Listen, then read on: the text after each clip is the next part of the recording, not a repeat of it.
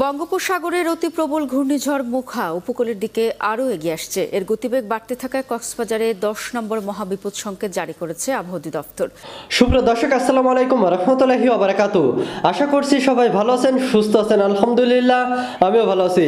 দর্শক শ্রোতা, টাইটেল শিরোনাম দেখে হয়তো আপনারা বুঝতে পেরেছেন আজকে আমি কোন বিষয় নিয়ে কথা বলব। দর্শক শ্রোতা, অবশেষে ভয়ঙ্করভাবে ধেয়ে আসছে ঘূর্ণিঝড় মোকা কক্সবাজার সহ কয়েকটি জেলায় দশ নম্বর সংকেত দিয়েছে আবহাওয়া অধিদপ্তর। তাছাড়া দর্শক, ঘূর্ণিঝড় মোকার সর্বশেষ আপডেট থাকছে আজকের ভিডিওতে। তো আজকের ভিডিওটি অনেক অনেক গুরুত্বপূর্ণ একটি ভিডিও, তাই ভিডিওটি না টেনে সম্পূর্ণ দেখুন। চ্যানেলে নতুন হলে অবশ্যই চ্যানেলটি সাবস্ক্রাইব করে আমাদের সাথেই থাকুন। চলুন দর্শক, বেশি কথা না বলে আমরা এই বিষয়ে বিস্তারিত জেনে আসি। কতটা ভয়াবহ রূপ ধারণ করবে অতি প্রবল ঘূর্ণিঝড় মোখা? শনিবার আবহাওয়া গবেষক মোস্তফা কামাল পলাশের দেওয়া পূর্বাভাস থেকে জানা গেল, এর কেন্দ্রের চারপাশে সৃষ্টি হওয়া ঢেউয়ের উচ্চতা এখনই উনপঞ্চাশ ফুট, যা প্রায় পাঁচতলা ভবনের সমান। একই সাথে মাছ সাগরের দমকা হাওয়া বইছে দুশো উনষাট কিলোমিটার বেগে। বলা হচ্ছে, ঘূর্ণিঝড়ের গড় গতি দুশো বারো কিলোমিটার, তবে সময়ের সাথে এই গতি আরও বাড়তে পারে বলেও শঙ্কা করা হচ্ছে। এরই মধ্যে দেশের বিভিন্ন জেলায় ঘূর্ণিঝড়ের প্রভাব শুরু হয়েছে। শঙ্কা করা হচ্ছে কক্সবাজার ও চট্টগ্রাম অঞ্চলে সবচেয়ে বেশি ক্ষয়ক্ষতি হতে পারে। এছাড়া পূর্বাভাস বলছে, মিয়ানমারের বেশিরভাগ অঞ্চলে তাণ্ডব চালাবে এই ঘূর্ণিঝড়। আবহাওয়া ও জলবায়ু বিষয়ক এই গবেষকের তথ্যানুসারে ঘূর্ণিঝড় মোখা প্রথমে আঘাত হানবে বাংলাদেশের সেন্ট মার্টিন দ্বীপে। তাই সেখানে থাকা বাসিন্দাদের দ্রুত সরিয়ে নেওয়ার আহ্বান জানানো হয়েছে। তিনি সতর্ক করে বলেন, রাত বারোটার পর থেকে ভোর চারটা পর্যন্ত ঘূর্ণিঝড় মোখার যাত্রাপথ বাংলাদেশের দিকে আরও সরে এসেছে।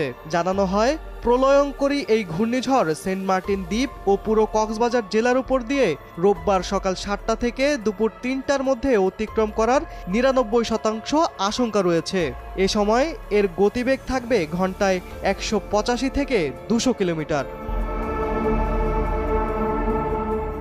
তার জানানো পূর্বাভাসে বলা হচ্ছে, ঘূর্ণিঝড়টি খুলনা ও বরিশাল বিভাগের উপকূলের আরও কাছাকাছি চলে এসেছে। এছাড়া নোয়াখালী ও ভোলার চরাঞ্চলগুলোতে দশ থেকে পনেরো ফুট উচ্চতার জলোচ্ছ্বাসে প্লাবিত হওয়ার আশঙ্কা দেখা দিয়েছে। কক্সবাজার জেলার সব দ্বীপের মানুষের জীবন হুমকির সম্মুখীন বলেও জানান তিনি। প্রবল বেগে ধেয়ে আসা এই ঘূর্ণিঝড়কে দেশের ইতিহাসের অন্যতম ভয়ঙ্কর হিসেবে পূর্বাভাস দিচ্ছে বিভিন্ন আবহাওয়া দপ্তর, এমনকি রেড অ্যালার্টও জারি করেছে আন্তর্জাতিক বিভিন্ন সংস্থা। উপকূলীয় এলাকায় ব্যাপক ক্ষয়ক্ষতি হতে পারে, এমন শঙ্কায় আগেভাগেই প্রস্তুতি নিয়ে রেখেছে সরকার। বিভিন্ন এলাকায় আগাম শুকনো খাবার ও চিকিৎসা সরঞ্জাম পাঠিয়েছে ত্রাণ ও দুর্যোগ মন্ত্রণালয়।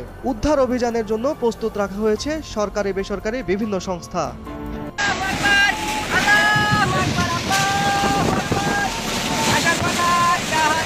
অতি প্রবল ঘূর্ণিঝড় মখা উপকূলের কাছাকাছি এগিয়ে আসায় কক্সবাজার সমুদ্র বন্দরকে দশ নম্বর মহাবিপদ সংকেত দেখাতে বলা হয়েছে। শনিবার দুপুরে আবহাওয়া অধিদপ্তরের পক্ষ থেকে এ তথ্য জানানো হয়েছে। ইতোমধ্যে ঘূর্ণিঝড় মখার প্রভাবে উপকূলে বৃষ্টি ও জড়ো বাতাস বইতে শুরু করেছে।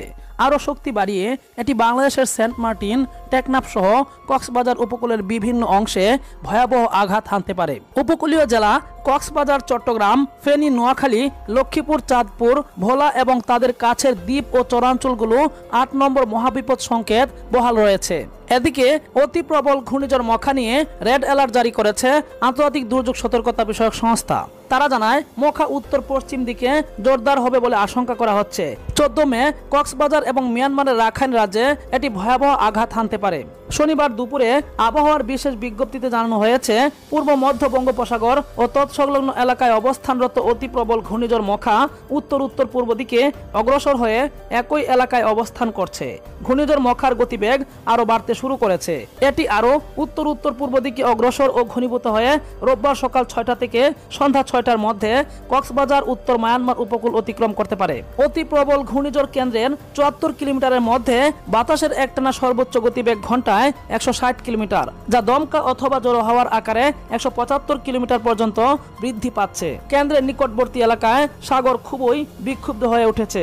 প্রিয় দর্শক, আল্লাহ আমাদের সবাইকে এই ভয়াবহ বিপদ থেকে হেফাজত করুন। আমিন। কমেন্টে আপনিও আমিন লিখতে ভুলবেন না।